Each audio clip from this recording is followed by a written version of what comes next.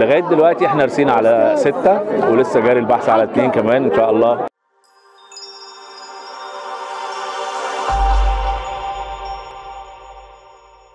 أنا ياسر علامة آه، مطرب آه، سوري الأصل آه، بس مصري الدم.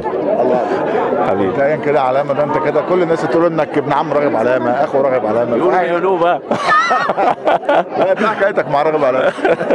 تشابه اسماء بس مش أكتر طب الموضوع ده ميسر لك الدنيا ولا مصعبها؟ والله في بعض الأحيان آه وفي بعض الأحيان لا. تفاصيل لو سمحت. لا لا.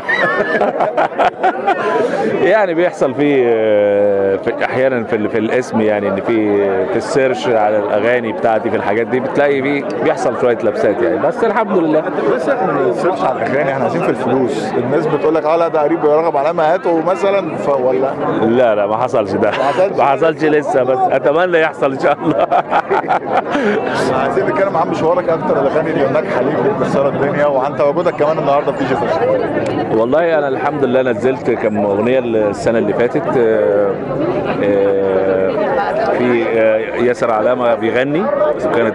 اس- اسمها بيغني فكان أغنية كانت حلوة وناجحة ودراما. نزلت حاجة قابلته صدفة برضو من الأغاني اللي نجحت سكر نبات. معظم الأغاني كانت في اللهجة المصرية طبعا اللي أنا بعشقها.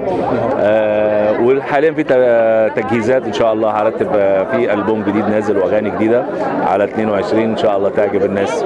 مصري الهوا برضو الألبوم ولا انت بسيط؟ هيبقى في mix في هو مصري وفي حاجات هتبقى في في اللهجة الخليجي. آه، في حاجات هتبقى في اللهجة الخليجي برضو في العراقي وخلاف المصري طبعا. هيبقى في كام أغنية طيب تحديدا؟ لغاية دلوقتي إحنا رسينا على ستة ولسه جاري البحث على اتنين كمان. إن شاء الله يكمل الثمانيه بإذن الله إن شاء الله. قريب. حبيبي يا ريس. يا رب يخليك. يا علامة. إيه؟ يا علامة. حبيبي إن شاء الله أبقى علامة في الفن إن شاء الله بإذن الله. حبيبي الله يخليك.